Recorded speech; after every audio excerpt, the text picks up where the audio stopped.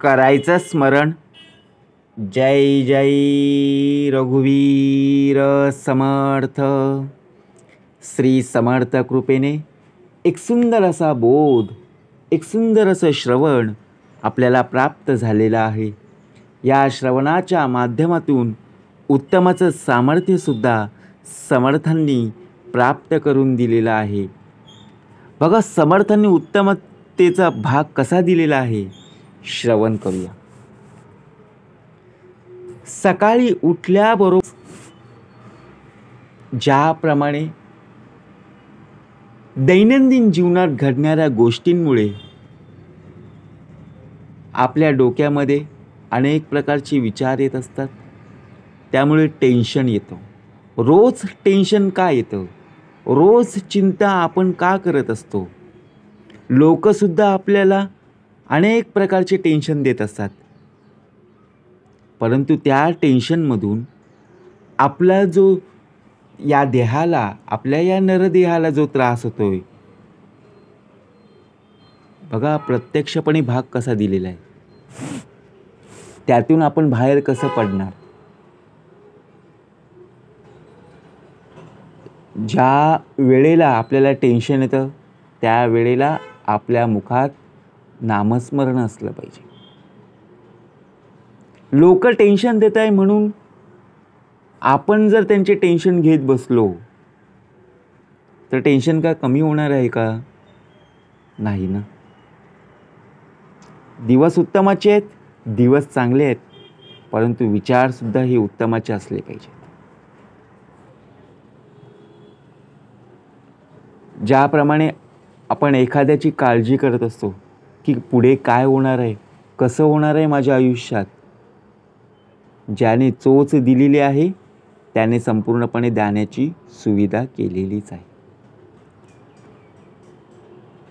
आपण भूतकाळ पाहिला वर्तमान काळ जगत आहोत आणि भविष्यकाळ पाहणार आहोत. परंतु सुख केव्हा प्राप्त होईल?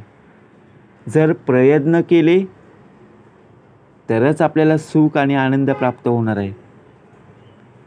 कारण भविष्य फार धूर्त आहे. ते फक्त आश्वासन देतं खात्री नाही. आपण भविष्य काळात बघा भविष्यात आपण स्वप्न पाहत असतो झोपेमध्ये स्वप्न पाहत असतो की मी भविष्यामध्ये माझं घर असेल माझी गाडी असेल माझा बंगला असेल माझी इतकी प्रॉपर्टी असेल. आपण काय दिलेले आहेत? आश्वासने दिलेली आहेत. परंतु जर कार्य केलेच नाही आपल्याला पैसा मिळेल कुठे? नाहीच. मग शेवटी काय झालं? काळजी वाढली. मग लोकसुद्धा आपल्याला बोलायला लागली. त्याचं टेन्शन आपल्याला वाढायला लागलं. कारण आपण त्यां बघा त्यांच्यासमोर बोलून गेलेलो आहोत. परंतु आपण फक्त आश्वासने दिली. आपलं कोणतंही काम पूर्ण झालेलं नाही. ज्याप्रमाणे एखादं फूल असतं बघा. ते फूल कोणत्या रंगाचं आहे? म्हणून आकर्षित वाटतं का? नाही. आपण एखाद्या बाजारामध्ये जातो. एखादं फूल घेतो. एखादा कलर पाहून एखादं सुवासिक आहे म्हणून फूल घेतो का? आता विचार करा. मोगऱ्याला सुगंध आहे. गुलाबाचं फूल आणि धोत्र्याचं फूल. कोणतं फूल आपण घेणार? तर गुलाबाचंच फूल घेणार. बरोबर की नाही?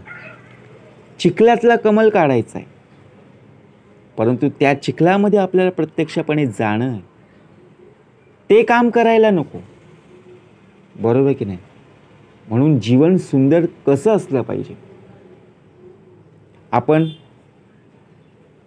सेंट असतो बघा अत्तर आपल्या कपड्यांना मारतो. आणि त्यामुळे सुगंध दरवळतं. परंतु हा परमनंट आहे का? नाही आहे टेम्परवरी. आज मारला तर उद्या हा निघून जाईल. बरोबर की नाही? कपडे धुवून निघाले की तो वास निघून गेला. पण आपल्या आयुष्याचा सुगंध केव्हा प्राप्त होईल? हे कळलं पाहिजे. एखादी उदबत्ती एखादी अगरबत्ती आपण देवासमोर लावतो. जोपर्यंत जळत आहेत तोपर्यंत सुगंध आहे. मग त्याचप्रमाणे लोक आपल्यावर जळत आहेत. म्हणजे आपल्यामध्ये सुगंध नक्कीच आहे परंतु तो सुगंध हा दरवळला गेला पाहिजे. म्हणजे विचार करा. एखाद्या लोकांनी एखाद्या व्यक्तींनी जर प्रत्यक्षपणे आपली चूक दाखवली म्हणून त्यांना वाईट बोलू नये तर तोच खरा मार्ग आहे की आपल्याला ती चूक सुधारण्याची वेळ प्राप्त झालेली आहे. सत्य सांगण्यासाठी कोणाच्याही शक्तीची गरज नसते. आता विचार करा. आपल्याला बोलायचं आहे सत्य की असत्य? आपण पाहतो परंतु सत्य जर बोललं तर नक्कीच आपल्याला कुठलाही प्रकारे त्रास होणार नाही. परंतु जर एकदा का चुकीचं बोललं किंवा असत्य बोललो ना तर त्याचा त्रास संपूर्णपणे आपल्याला भोगायला लागतं की नाही? म्हणून नदीला वाहण्यासाठी कुठल्याही रस्त्याची गरज नसते. ते आपल्या हिमतीच्या जोरावर जीवन जगत असतात. बरोबर की नाही? नदीचा प्रवाह ज्याप्रमाणे बघा नदीचा पाणी येतो बरोबर रस्ता निघत असतो. मग त्याचप्रमाणे आपण जेव्हा रस्त्यातून चालत असताना अनेक प्रकारचे रस्ते पाहायला मिळतात. परंतु कुठल्या रस्त्यावर आपल्याला जायचं आहे एखाद्या दुकानात जायचं असेल तर ते दुकान कुठल्या रस्त्याला आहे? हे माहिती असणं आवश्यक आहे. कारण पुढे जाणारा माणूस कधीच कोणाला मागे खेचत नाही. आपण आपल्या आयुष्यामध्ये पुढे गेलेले माणसं आपण खेचत असतो. खेचण्याचा प्रयत्न आपण करत असतो. का? कारण हा माझ्या पुढे गेलेला आहे. आणि मागे खेचणारा पा माणूस कधीच पुढे जात नाही. विचार कर. आपल्या आयुष्यामध्ये बघा दोन मित्र असतात. एक खूप अभ्यास करतो आणि एक कमी अभ्यास करतो. परंतु जास्त अभ्यास करणारा हा पुढे जातो. परंतु कमी अभ्यास करणारा हा त्याला खेचत असतो. की तू माझ्या पुढे जाऊ नकोस आता. बरोबर की नाही? परंतु हा सुद्धा पुढे जात नाही आणि पुढे जर जात असेल तर त्याला मागे खेचल्याशिवाय हा राहत नाही. म्हणजे विचार करण्याची पद्धत बघा. तरीसुद्धा सगळी दुःख दूर झाल्यावर मन प्रसन्न होईल हा भ्रम असतो ना. म्हणून जीवनामध्ये आयुष्यामध्ये मन हा प्रसन्न राहिला पाहिजे. आणि त्यामुळे आपल्यावरती जी येणारी सगळी दुःख आहेत ती दूर होती जर मन प्रसन्न नसेल ना तर कुठल्याही कार्यामध्ये आपल्याला यश प्राप्त होणारच नाही. जेव्हा माणसाची योग्यता आणि हेतूचा प्रामाणिकपणा सिद्ध होतो तेव्हा त्याचे शत्रू देखील त्याचा सन्मान करू लागतात. आता आपण आपल्या पात्रतेवर अवलंबून असतो. आपल्याला एखाद्या बघा जॉबसाठी इंटरव्ह्यू द्यावी लागते.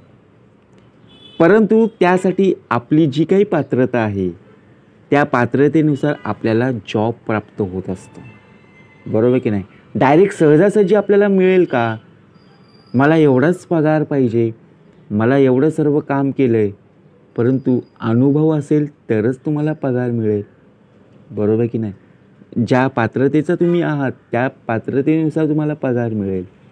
परंतु आपण जर डायरेक्ट गेलो आणि इंटरव्ह्यूला पास झालो आणि मला पन्नास हजार न एक लाख पगार पाहिजे. नाही ना. पात्रतेनुसारच आपल्याला सर्व काही प्राप्त होणार आहे. म्हणून योग्यता आणि हेतू प्रामाणिकपणे असला पाहिजे. आपल्यामध्ये प्रामाणिकपणा आहे का हो? जाणून घेतला पाहिजे.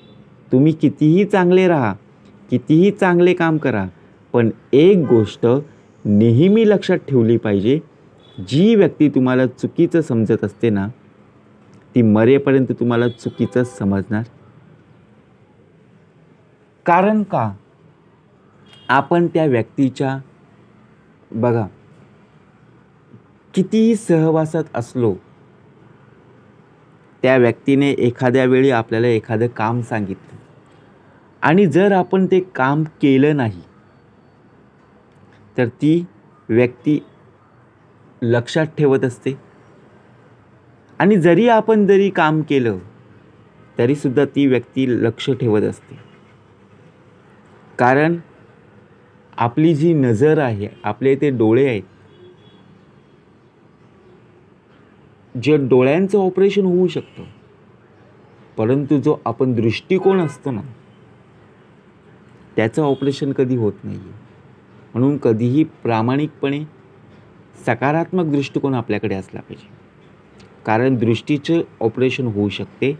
दृष्टिकोनाचं नाही. म्हणून आपली आपली जी काळजी करणाऱ्या माणसांना गमावू नका. आपली काळजी कोण करत असतं? तर आपले आई वडील नातेवाईक भाऊ बहिणी कारण का? एखाद्या दिवशी बघा एखादा प्रसंग आला. तेव्हाच कळतं की कोण मदतीला आलेला आहे आणि कोण मदतीला नाही. म्हणून जीवनामध्ये आयुष्यामध्ये जर संघर्ष करायचा आहे तर त्यामध्ये जिंकायचं आहे. परंतु ते जिंकण्यासाठी जी गरज आहे ती म्हणजे सामर्थ्याची. सामर्थ्य असेल तरच आपण तो संघर्ष जिंकू शकतो. परंतु इतरांपेक्षा जर वेगळं बनायचं असेल तर चेहऱ्याने नाही तर विचार आणि संस्काराने बना. कारण माणसाचं चेहरा कधी ना कधी प्रत्येकाची साथ सोडत असते. मात्र माणसाचे विचार आणि संस्कार शेवटपर्यंत साथ सोडत नसतात. आपण सगळे माणूस आहोत मनुष्य आहोत. माणुसकी जपली पाहिजे तीसुद्धा बघा प्रत्येकाच्या आयुष्यात आपल्या आयुष्यात इतरांच्या आयुष्यात ज्याप्रमाणे आपलं नाव शेवटपर्यंत राहील. कारण लोक खोटे बोलतात आपणसुद्धा खोटे बोलतो. परंतु सर्वांची मनं जिंकायची आहेत. कारण लोक खोटं बोलून सर्व माणसं जिंकत असतं आणि आपण खरं बोलून सर्वांपासून दूर राहतो. आपण जीवनामध्ये सत्य जे काय आहे ते बोलून मोकळे होतो परंतु सत्य काय बोललो? हे विचार जर कळले तर आपण त्या लोकांपासून दूर राहतो.